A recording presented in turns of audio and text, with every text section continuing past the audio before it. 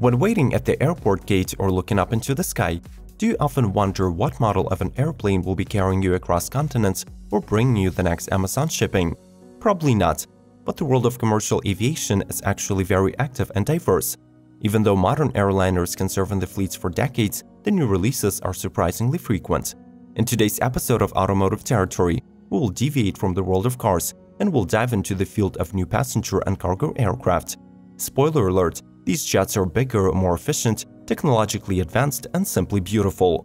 Subscribe to our channel before we get to the video and enjoy your flight. Airbus A350-1000 The newest and the largest model in the company's A350XWB airliner family, A350-1000, is a 242 feet long twin-aisle wide-body aircraft that entered the commercial service in February 2018 with its fuselage and wings built using carbon fiber and reinforced plastic, it burns 25% less fuel than its closest competitors. The A350-1000 seats 366 people in a 3-class layout and has the range of 8,400 nautical miles. The aircraft is powered by two Rolls-Royce Trent XWB-97 engines. Each of them provides 97,000 pounds of thrust on takeoff, making them the most powerful engines ever developed for Airbus. The model's cabin is built based on the brand's Airspace concept, which emphasizes comfort and service and features 18-inch wide economy class seats, cabin noise cancellation, and LED ambient lighting that is designed to reduce jet lag. Stratolaunch This massive aircraft stands out from the crowd due to its unique twin fuselage design, humongous size, and unorthodox purpose. The Stratolaunch was designed as an alternative way of launching satellites into space, using the company-developed launch vehicles released from the specially constructed central wing. For their safer deployment, the model was given the largest ever wingspan, reaching 385 feet, and a twin fuselage construction. Powered by six Pratt & Whitney engines, the aircraft can carry a maximum payload of 550,000 pounds, but its range is limited to 1,000 nautical miles. Previously, the first flight of the Stratolaunch was planned for the 2019, but it has been pushed back after the untimely death of the company's chairman and one of Microsoft's co-founders, Paul Allen. Unfortunately, the launcher program has also been placed on hold, and the future of this gigantic aircraft remains undecided. Embraer Lineage 1000E If you're tired of flying business class and are now ready to make serious transportation investment, Embraer has just the right private jet for you. Their all-new 1000E aircraft from the Lineage series is an ultra-large corporate jet with mid-range capabilities that is powered by two General Electric CF3410E engines. Depending on the chosen configuration, the model accommodates from 13 to 19 passengers and can be customized according to the customer's taste. It has five different cabin zones, including a double-sided galley, a separate dining area, a main room, and an in-flight baggage compartment, and an optional master bedroom with a walk-in shower. Compared to the older Lineage 1000 that debuted in 2009, the new aircraft offers longer range of 4600 nautical miles and features new in-flight entertainment with Apple TV, AirPlay, Wi-Fi, and a new digital cabin management system called Honeywell Ovation Select. Airbus Beluga XL one of the strangest looking airplanes that currently exist is undoubtedly the Airbus Beluga that gets its name from a resembling Arctic and subarctic cetacean, the beluga whale. In 2019, the new generation of this aircraft will enter service and it is labeled the Beluga XL or Airbus A330-743L. The major mission of the newcomer is to transport oversized aircraft components between Airbus's production facilities. In fact, with 30% more capacity than the existing Beluga, it is able to carry two entire A350XWB wings instead of just one.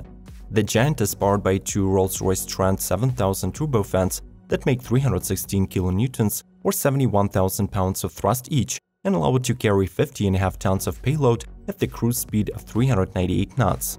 The development and the production of the Beluga XL project cost Airbus 1 billion euros, and it is not expected to be sold to other companies. Airbus ACJ320neo In case a small business jet is not enough to fit billionaire's ego, or if the travel arrangements require bringing along an army of personnel and bodyguards, then there is no other choice but to fly a corporate jet. This family of aircraft is the pinnacle of luxury, a house with wings of sorts, and the new Airbus ACJ320neo is the latest addition. The model is based on the super successful narrow-body A320, but it has increased service ceiling of 41,000 feet or 12,000 meters and longer range. This configuration of the jet can carry 25 passengers to the distance of 6,000 nautical miles, and being equipped with the latest generation NEO power plant is showing 15% increase in efficiency. The ACJ320neo has the widest and the tallest cabin in the industry, and the fully customizable layout provides truly infinite possibilities in creating unique spaces that offer the best comfort and functions. Boeing 777X While there is still more than a year before this beauty rolls off the conveyor in the summer of 2020, Boeing has already called its new twin-engine 777X the best performing and most spacious and comfortable long-range aircraft in the world. Available in two modifications, 777-8 and 777-9, it features more fuel-efficient GE9X engines by General Electric and new composite wings with folding wingtips, which are supposed to bring operating costs per seat down by 10%. With a range of 8,700 and 7,600 nautical miles, the models can carry up to 375 and 425 people respectively. The new 777 also features a number of interior changes adopting the best practices of the 787 Dreamliner. These include a wider cabin with 3-4-3 seating configuration, wider windows and new lighting.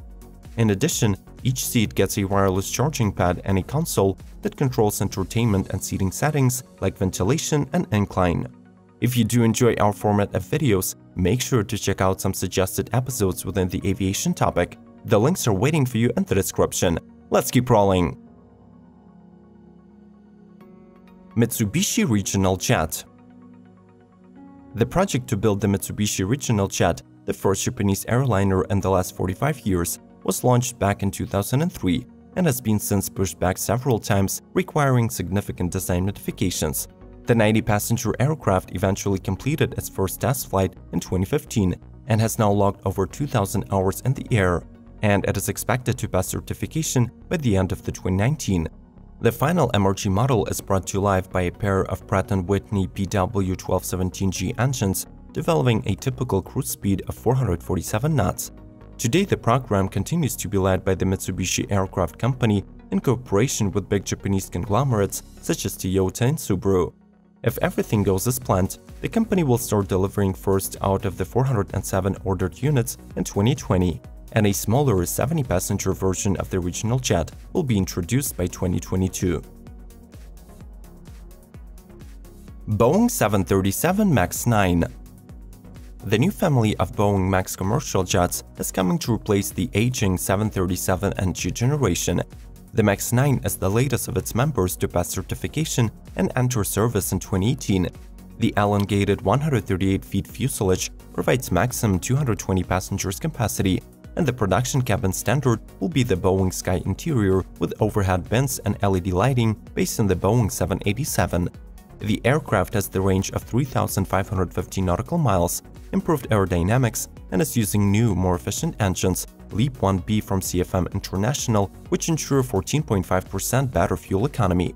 However, it must be mentioned that to pass certification, the construction of the new engines required the implementation of the Maneuvering Characteristics Augmentation System. The system is currently under suspicion of being responsible for the fatal crashes of two MAX 8 airplanes, which led to the loss of 346 lives. As of today, all the Boeing MAXes are grounded, including the ninth model. An investigation is taking place, but the production continues. Airbus A330-800neo Talks about a new engine option for the company's A330 airliner have been circling around since 2010, and in July 2014, Airbus launched the development for the new A330neo program. As a result, two airplane models were produced, the larger 900 and the more recently the smaller 800, which completed its first flight on November 6, 2018. The new 800neo is powered exclusively by the new Rolls-Royce Trent 7000 engines and is 25% more efficient than the previous generation A330. It also has a weight-saving fuselage construction and redesigned wings with new composite sharklets, better aerodynamic properties, and longer span that now reaches almost 210 feet. The aircraft accommodates 257 passengers, delivering the quietest flight experience in its class with the latest generation in-flight entertainment system. We must mention that so far only 10 units of the 800 Neo were pre-ordered, and its first deliveries should start in early 2020. Irkut MC-21 This rare bird is a single-aisle twin-jet airliner produced by Irkut, a branch of the Russian National United Aircraft Corporation. The jet will be manufactured in two configurations, the 300 with a capacity of up to 211 passengers and 3500 nautical miles range, and the upcoming shortened version 200. The Irkut MC-21 has a carbon fiber reinforced polymer wing and is powered by Aviadvigatel PD-14 or Pratt & Whitney PW1000G turbofans that generate 28,000 and 31,000 pounds of thrust respectively. The manufacturer is betting heavily on the commercial success of this airliner, which could be noticed in the name that is translated from Russian as mainline aircraft of the 21st century. Interestingly, they claim to have already received 175 firm orders and recorded 115 tensions with expected deliveries by 2021. However, the production keeps stalling due to the currently imposed US sanctions. What do you think about the newcomers?